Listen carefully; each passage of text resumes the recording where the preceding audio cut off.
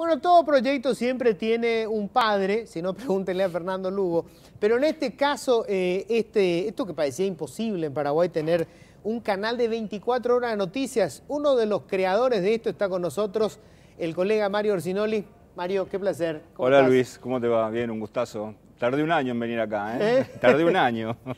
bueno, la gente alguna vez tenía que ver un poco tu rostro para saber quién es culpable. Si no le claro, no, sí, solo con un antifaz ahora. Claro, si no le culpan a Ocari Menchi. Pero bueno, ¿cómo fue esto? Increíble, Mario, ¿no? Porque ¿cuántas veces habremos escuchado hablar como periodista un canal de 24 horas de noticias en Paraguay parecía imposible? Bueno, es un proyecto que viene de hace, una intención que viene de hace muchos años que se pudo concretar acá en el, grupo. ¿no? Por, eso yo regresé al grupo hace dos años y medio con la intención, bueno, de integrarme primero a Telefuturo y luego desde ahí, con todo el gran equipo que hay en Telefuturo, montar esto. Era un sueño, realmente era un sueño, pero los directivos vieron, comprendieron la, la necesidad de contar con un canal de cable, porque bueno, la televisión abierta cada vez está perdiendo un, poco más de televidentes por las cuestiones eh, de hábito de consumo de pantallas, no de televisión, ya de pantallas. Y bueno, tener un canal, un, grupo periodístico tan fuerte como es el grupo Bierzi, necesitaba un canal de cable. Y bueno, y afortunadamente se alinearon los astros y acá estamos, cumpliendo un año. Hace un año exactamente estábamos aquí probando todo, las luces, martillando, pues siempre pasa eso, ¿ah? Vos preparás durante seis meses y en el último minuto hay un tipo martillando. ¡Ah, hay un clavo que está, está fuera del lugar. Pero bueno, pero realmente, realmente la experiencia fue, es muy interesante porque estamos logrando una amalgama entre gente con mucha experiencia, como Oscar Menchi, gente también, también como vos, y chicos más jóvenes. Y entonces, bueno, estamos haciendo un lindo, realmente yo particularmente me siento, me siento muy conforme. Ojalá y ojalá que los televidentes por lo menos digan algo medianamente parecido, ¿verdad? Pero, pero por lo menos visto desde acá, la verdad que nos sentimos eh, nos sentimos orgullosos en realidad, ¿verdad? De, estar. Y una pregunta que se hacía mucha gente, Mario, ¿hay noticias suficientes para dar contenido a un canal exclusivamente de noticias? Sobra, muchas veces nos, sobra, nos falta espacio.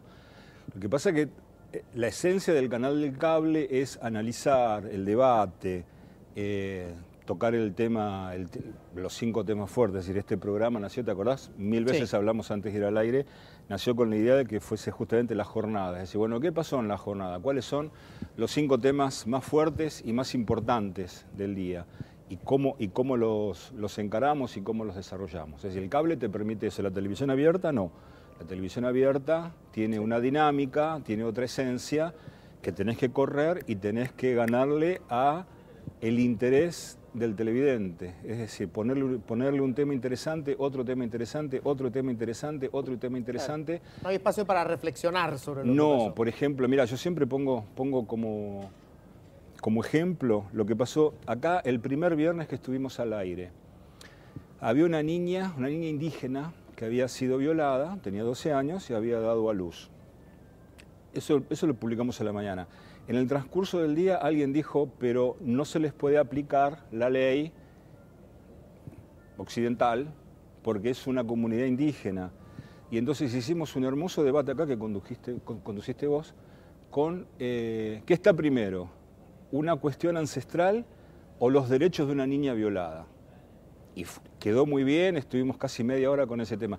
Ese tema en la televisión abierta no te rinde, no te rinde porque la dinámica de la televisión abierta es diferente y quien se sienta frente a un noticiero de la televisión abierta tiene otras expectativas, necesita entretenerse e informarse, que esa es el, más o menos la fórmula que te puede asegurar cierto éxito, ¿cierto? Pero hay, hay, hay, hay, hay noticias más que suficientes. Y también, perdón, sí. hace un año que no hablo, déjame. No, no, está bien, está bien. ¿Te quiso censurar el productor hace rato? No ah, no, el productor le digo, che, entro siete y media. Eh. Mira el reloj, así, así. Sí, sí. Qué macana, Mario, estamos muy apretados de tiempo. Será más en mañana. Este, no, y eso, ¿verdad? O sea, también gran parte del éxito se debe a la, a calidad de nuestros conductores, por supuesto, a la calidad de nuestros cronistas, nuestros técnicos, todo, todo, todo, todo el equipo. Pero logramos que los conductores sean medianamente de un estilo similar, es decir, muy bien informados, con mucha cancha, eh, evidentemente con mucha cancha frente, frente a las cámaras y con mucha capacidad de relato, que eso también es otro, es otro de los secretos del cable, ¿verdad? Relatar, contar, hacer que la gente se meta en tu historia. La televisión abierta también lo hacemos, pero estás mucho más, mucho más acotado, por el tiempo. Claro. ¿Y vos sentís el retorno? Porque eh, un canal de noticias normalmente eh, tiene más impacto, digamos, en, el segmento de la gente que toma decisiones eh, económicas, políticas, sociales. ¿Vos sentís ese retorno? Porque un año a veces es poquísimo para un canal, pero, pero ¿sentís que ya hay un feedback con la gente? Sí, nosotros nos posicionamos en, una determinada postura, en una determinada posición a través de los contenidos. O sea, somos un canal generalista, tocamos todos los temas, pero hacemos más énfasis en los temas sociales y en los temas políticos, principalmente en este horario en especial. Y sí, logramos un posicionamiento que era el que pretendíamos, de gente que decide, de gente que, que tiene buen poder adquisitivo, pero no nos olvidamos de nada. ¿viste? Tenemos el crimen del día, lo tenemos, tenemos las declaraciones, pero nunca vamos del lado más dramático de la noticia. Supuesto, con, tenemos unas reglas éticas del buen periodismo que son inviolables. ¿viste? Respetar la dignidad de las personas, de los menores. A veces, en el trajín, ¿viste? porque prácticamente uno está informando, uno está informando en línea pasa algo, confirmás y tirás, bueno, a veces, a veces podemos cometer errores. Yo creo que todos los días cometemos algún error. Pero bueno, pero por lo menos tenemos la honestidad de darle el mejor producto al público.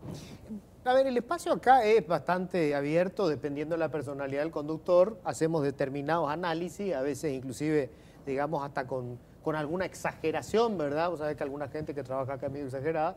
Este, y normalmente el que está al frente del medio es el que recibe los palos. ¿Te pegan a menudo por, por, las críticas? Por no, en absoluto, en, absoluto, nada, pero nada, en absoluto. ¿Por qué? Porque las críticas son fundamentadas, están fundadas y son objetivas. Si hiciésemos una campaña de desprestigio contrario, pero por supuesto, pero el día siguiente hay cinco abogados tocándonos el timbre. En absoluto, ni en Telefuturo, ni acá en el cable. ¿Por qué? Por la calidad de todo el equipo, ¿verdad? Porque el productor tiene, todos nuestros productores son de primerísimo nivel, todo, todo, todo, realmente, viste, generalmente esto parece bola, ¿no? Viste, el tipo quiere, es, una cuestión eh, políticamente correcta, no, no, sin embargo eso, eso encontramos, porque mirá que lo montamos rápido el canal. Sí, sí, lo montamos rápido, viste, con la gente que estaba, charlamos un mes y al mes siguiente ya estábamos, ya estábamos arriba, ¿no? ya, estábamos, ya estábamos acá.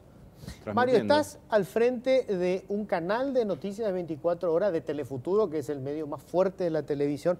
O sea, administras, administras poder eh, de alguna manera, administras poder. ¿Te bajan línea los dueños del, negocio? Para nada, para nada. La, la, línea que sí bajan, objetivo, objetividad. Si le damos al grupo A, démosle al grupo B, siempre siempre no, no, realmente por, eso, por eso hemos venido, conocés mi camino, mi derrotero de varios de los canales. Y en un momento estaba en un canal muy, que había sido también, tuve la oportunidad de ponerlo en el aire.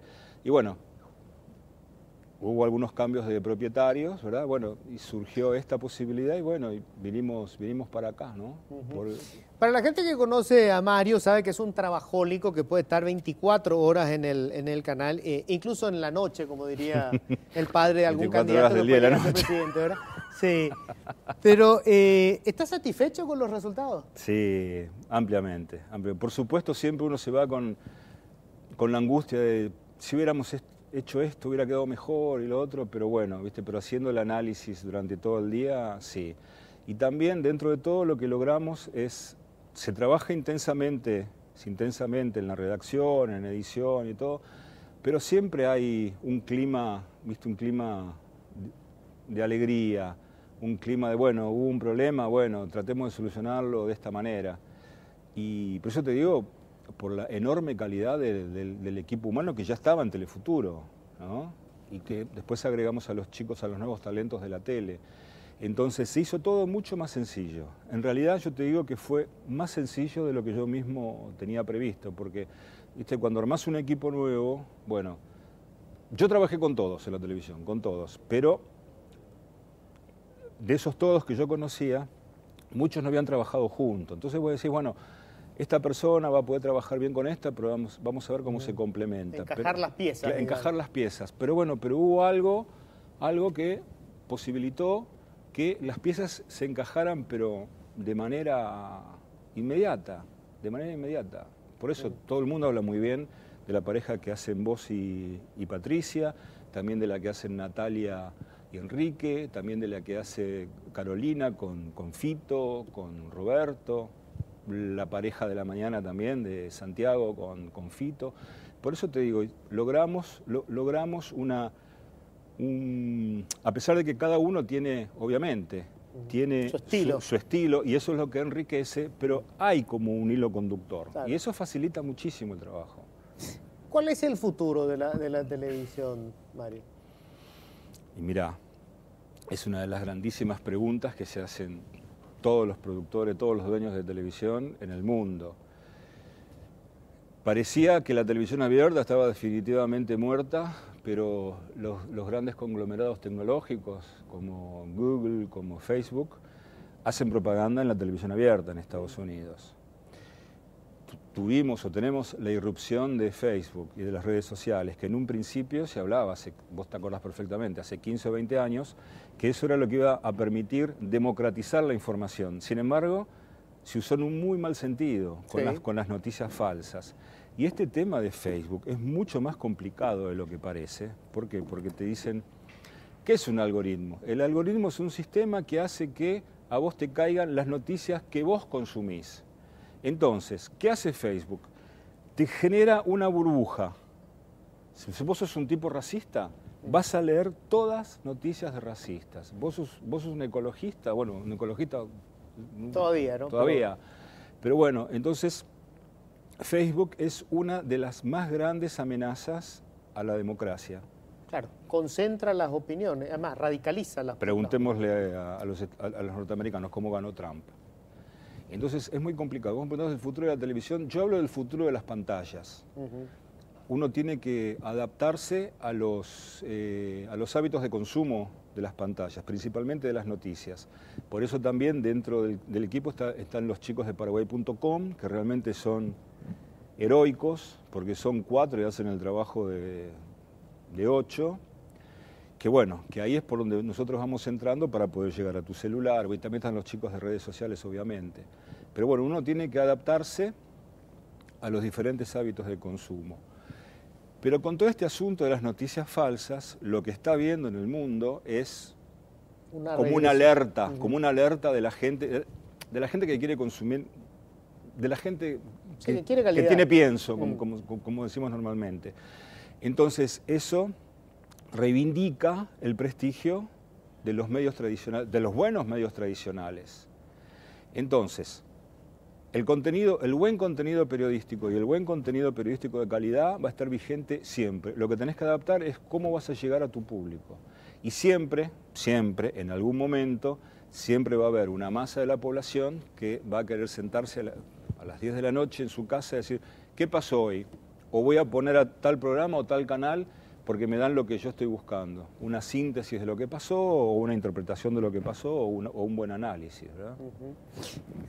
¿Es difícil eh, esquivar el, monstruo del rating y el tema del, amarillismo, del sensacionalismo, o sea, de la noticia como show? Y no podés estar ajeno a eso. El asunto es ¿Cómo lo, llevas a, ¿Cómo lo llevas a la práctica? Ese es un guiso, es un guiso. Algunos le ponen picante, le ponen demasiado picante, entonces eh, la gente que lo consume al mes, a los dos meses, tiene un dolor de estómago que no quiere más. Eh, esa es una de las principales diferencias entre, entre la televisión abierta y el cable. La televisión abierta, vos tenés que tener un menú de noticias interesantes, que atrapen el interés cuando ese menú vos lo tenés y vos aseguraste ya tu público del día, entonces sí podés ir tirando también las noticias eh, importantes. Te lo que te decía antes, si el debate este de la niña Claro. indígena violada lo llevábamos a la televisión abierta, hubiera sido un gran debate, pero hubiera caído vertiginosamente. Entonces, siempre es un equilibrio. Bueno, vamos, vamos a dar un noticiero que sea entretenido, que sea ágil, que sea fácil de entender, eso es una, es una cuestión capital, que sea fácil de entender para la gente, pero también que tenga contenido. Entonces, por eso nosotros siempre tenemos noticias sociales, noticias de salud, de prevención de la salud, de economía y de, y de política y de deportes, obviamente. Lo cual acá estamos más libres, ¿viste? Porque, bueno, como te decía antes, la esencia del canal de cable es esta, bueno, agarrar un tema y analizarlo a profundidad. ¿Qué puede esperar la gente, el televidente de NPI, que este, suponemos va a ir creciendo? Yo creo que hoy es obviamente significativamente mayor de lo que era cuando arrancamos, ¿verdad? Que recién estábamos en el cable y que nos surgió la competencia. Hoy hay muchos. Sí, muchos, muchos, muchos canales y respetables canales, buena- buenas competencias tenemos.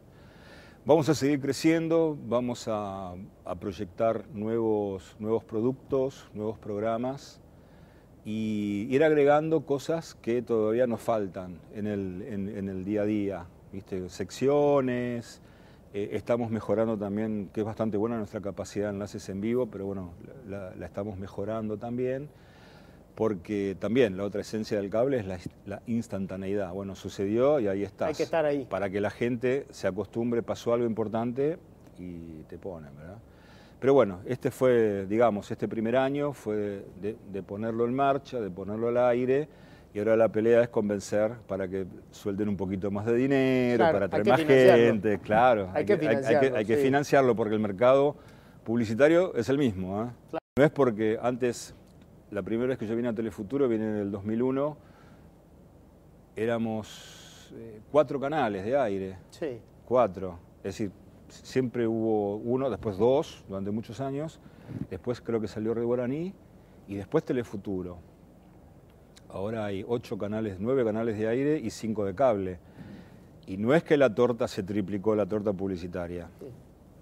La torta es la misma, excepto que nosotros aquí, como el cable tiene otras tarifas, bueno, empezar a buscar aquellos anunciantes que no pueden llegar a, a la televisión abierta. Bueno, y hay todo un plan estratégico que ya estaba previamente estipulado para atacar ahora ese, ese mercado, ¿no? Ese segmento. ese segmento de anunciantes. Bueno, este señor es Mario Orsinoli, tenés que volver a la tele, Mario. ¿eh? O sea, está bien conducir desde allá, qué sé yo, pero lo- vos sos periodista. No, siempre. Entonces tenés. Yo soy, tenés- yo soy una sola cosa, dos. Ah. Periodista e hincha de boca. Después. Qué terrible. ¿eh?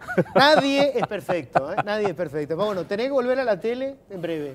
Y a lo mejor volvemos. ¿Eh? A lo mejor hacemos algo ¿Sí? acá. ¿Crees? Fantástico. Gracias, Mario. A vos, a vos, chicos. Bueno, eh, Esperá, pará, no me cortes, no me cortes, no me cortes. Un saludo a todos, a todos, a todos, a todo, a todo el gran equipo de NPI y, y el- y Telefuturo. A todos, realmente a todos. Estoy orgulloso de trabajar con ustedes y gracias por tanto. Bueno, eh, acá Luis. Luis que hace rato que me dice que corte, que corte, ya está larga la entrevista.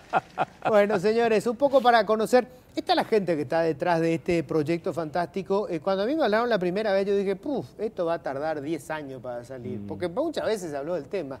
Es increíble. Salió en, ¿en cuánto? En un año salió Mario. No, menos, Menos menos, menos, menos, menos, Meses salió. cinco meses. Buah. Aproximadamente cinco meses. Y uno de los padres de la criatura es el señor que está acá en la mesa.